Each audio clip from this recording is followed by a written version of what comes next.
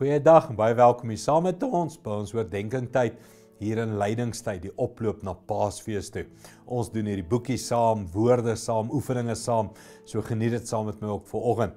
Ons is by Lukas 4 vers 18 en hy sê hierdie woorde: Want hy het my gesalf om goeie nuus aan die armes bekend te maak.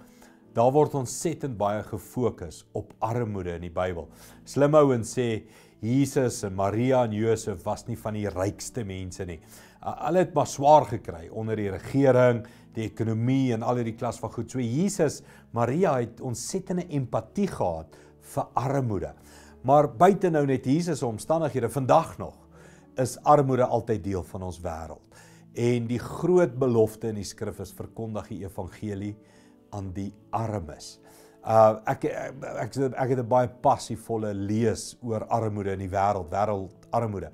En as ek dit meng met Christendom, dan kom ek altyd by hierdie gedagtes uit van uh God kry saam met ons swaar oor al die armoede. Uh onsse Vader wat in die hemel is sê ons Vader, hy's ons almal se Vader. En hy's nog meer bekommerd oor armoede as ek en jy hy's nog meer hartseer oor mense wat in shacks bly en nie running water het nie en nie elektrisiteit het nie. Hy's nog meer ger, geruk deur 'n kind wat sterf in 'n in 'n publieke toilet, val toilet. Um so hy, God is betrokke in armoede en jy en ek moet dit weet.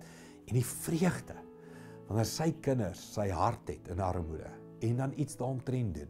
So iets van hier 'n lydingstyd. Wat kan jy in armoede doen? En ek kan jou beloof, jy trek God se aandag as jy kos gee, meel gee, 'n plek verf, as jy enige iets doen om iets te doen aan ons land en ons wêreld armoede. Jy kan nie alles verander nie, jy kan een mens se lewe verander. Jy kan vir een mens iets beteken.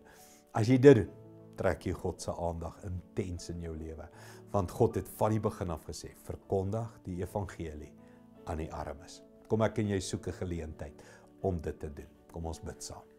Hemelse Vader, en ek kan bid en sê en voorsien vandag vir ons ons dag se brood. Maar nie net aan my nie, maar aan ons. Ons in ons land, ons in armoede, mense wat swaar kry, kinders wat honger is, Here.